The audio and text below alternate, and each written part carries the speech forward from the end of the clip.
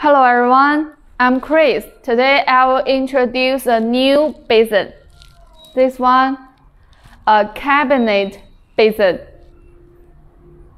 Why it called the cabinet basin? Because under the basin, it can put a cabinet. The model number is TGSZ55. It's a modern style design. And the shape is round with the white color. The faucet mount is one hole, and the size is 550 multiply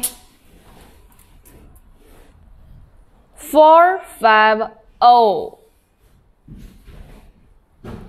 multiply 190 if you want to know more information, please contact me. And there has my phone number at the end of the video.